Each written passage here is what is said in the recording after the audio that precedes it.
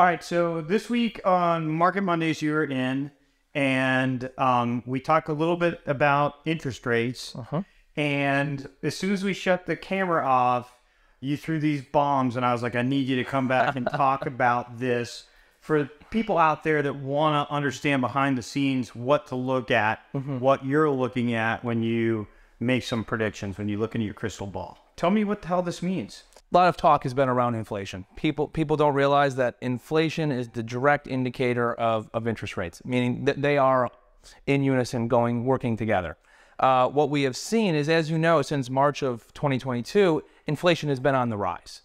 However, what we do is we we want to see when we have a peak or when inflation has been grappled with, and what we do is we look at that year over year, meaning in February of 2022, how would that stack up against February of 2023 in regards to is inflation increasing or decreasing? And that's just so that we are taking into account seasonality. Absolutely. Absolutely. So we're looking at this year over year, and what you're going to notice is in October, October, November of 2021, you're going to notice that inflation was kind of high. I mean, 0.6% we're up, then 0.5, same in December, 0.6. But if we compare those now to 2022, we see that, okay, we start to see a little bit of tapering because we see October of 2022 is 0.3%. October of 2021 was 0.6. October of 2022 is 0.3. It's a lower number. We see how? Because we are starting, the US economy is starting to get a grip, a grapple on inflation. Okay. And what we're looking for now is is a trend. Do we do we see this trend continuing? News out, January 12th, inflation down 0.1%. So again, adding to this idea of a trend that inflation is we're getting a grip on it. What does that ultimately mean? Well, once we have a grip on inflation, the federal government is going to have that moment where they're going to have to decide okay, do we have an idea of stability here? Or do we have stability and we're going to lower, start to lower interest rates? Or are we going to hold, hold tight? Yeah. I think we can all agree that the federal government has been working very hard to stop inflation. So they're not going to just pull it all off, create a massive housing surge, if you will, again. However, since inflation is being grappled with and the numbers are showing this, and if we look to the chart again, January is January of 2022 now, 0.6%. I can't fathom that number going up in 2023. So I think we're going to see this nice trend of rates starting to settle in. I don't think we're going to see a spike. And then what we look to is this other chart. Historically speaking, there is a relationship between the 30 year fixed rate and the 10 year US Treasury. Typically, there is about 175 to 200 basis points. What is a basis point? For every 100 basis points is 1%.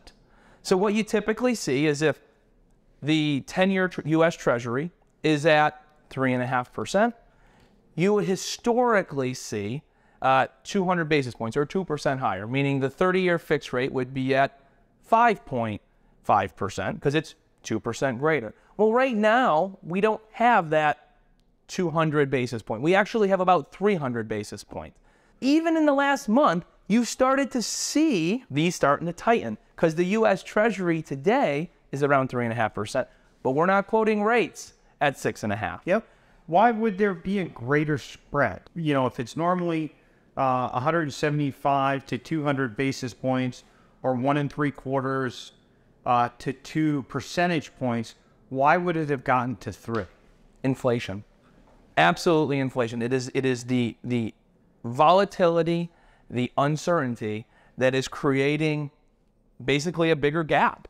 And once that gap is recognized and inflation is grappled with, you're going to notice these these spreads, if you will, to come more harmonious to what we've seen in history, this 200 basis points. So what I'm saying is, as you start to see inflation come to a, the U.S. economy has a grapple on it, start to look and see how the U.S. 10-year Treasury is going to start shrinking that spread between the U.S. 10-year Treasury and the 30-year fixed is going to get back to this two, 200 basis points or 2% gap. Long-term projection, I think you're going to see rates come down. I don't think you're going to see them come down tomorrow or in a month because the federal government isn't going to rip the band aid off. But haven't they come down a little bit? They have. They absolutely have. But what they're doing is it's a slow, gradual, Yep. and they're letting, essentially, they're letting certain subsets in, back into the market. Some people will say, okay, I will grapple with a six and a quarter rate. Others are going to wait. So do you see that slow downward trend continuing? Do you see it flattening out? Do you see it going up in terms of the real interest rate that somebody who comes to you to get a loan, what are they going to see? I think in the in the short term, I think you're seeing some leveling. I don't think you're going to see something earth-shattering where all of a sudden one day we wake up and interest rates are up a half a percent to a one percent lower. I don't think you're going to see that. What about a half of a percent to 1% higher? Don't see that either. I don't.